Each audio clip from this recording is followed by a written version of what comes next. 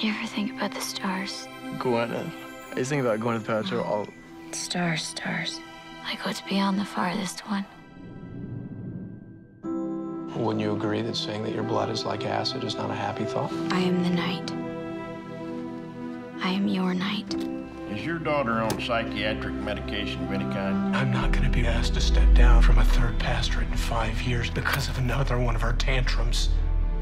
If you want to continue to play your vampire music, Which it's if not. you want to continue to play your music in the garage of the church's parsonage, I suggest him 567. Cover a Baptist hymn. Yeah, right. You're not gonna steal my band, freak. Or Steven. Yeah, they got a name for the kind of man she's turned you into, boy.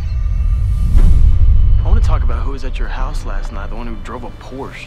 Who is he? I thought you were out. The man that was just here. Boundaries between you and me, freak. That'd be a mistake. Promise me you will stay away from Kyle Annie, okay? You don't know Kyle. It's the same thing starting all over.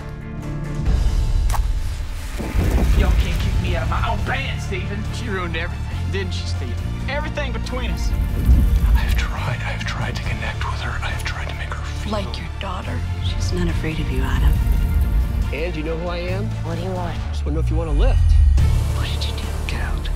Get out. What did you do? Get out! I think people are like the stars, Annie. Because you can never really see the end of them either.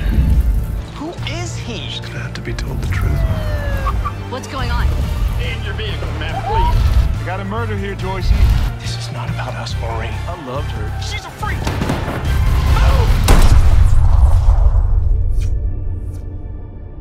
I went to the library and looked up the word death. There were names of famous people, good and bad, disease, personal testimony, and how to's. A couple hundred or zillion entries in, I read.